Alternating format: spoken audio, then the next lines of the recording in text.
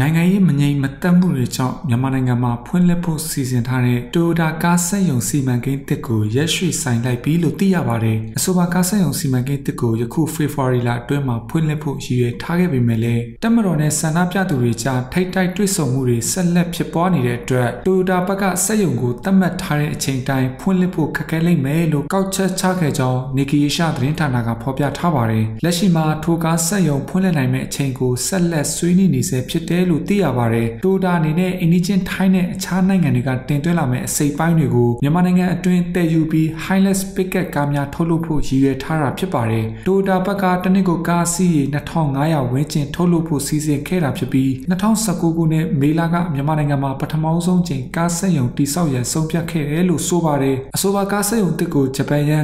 9.5ဘီလီယံနဲ့ညီမျှတဲ့အမေရိကန်ဒေါ်လာ52တန်ဝန်းကျင်ရင်းနှီးမြှုပ်နှံထားပြီးတီလိုဝါအထူးစီးပွားရေးစုံအတွင်းမှာတိစောက်နေတာလည်းဖြစ်ပါတယ်။နိုင်ငံ내ပြကြကြပြန့်ပြန့်ဖြစ်ပေါ်နေတဲ့ဆန္ဒပြမှုတွေကိုဖြစ်ပေါ်စေခဲ့သောအာဏာရယူမှုပြီးစက်ရုံဖွင့်လှစ်ဖို့ခက်ခဲလာခဲ့သလိုလုံသားအများစုကလည်းစုယုံမှုတွေမှာပါဝင်နေတယ်လို့ယုံကြည်ကြောင်းဆိုထားပါတယ်။ဒါအပြင်တိုတာဘက်က NASA အကောင်စီတာဝန်ယူခြင်းမှာစက်ရုံစတင်ခြင်းဝင်ငွေရှာဖွေခြင်းနဲ့စစ်တပ်လက်အောက်ခံအစိုးရထံအခွန်ပေးဆောင်ခြင်းများအတွက်ဖြစ်ပေါ်လာနိုင်မဲ့ဝေဖန်မှုတွေနဲ့ပတ်သက်ပြီးတော့လည်းစိုးရိမ်မှုတွေရှိနေတယ်လို့သိရပါတယ်။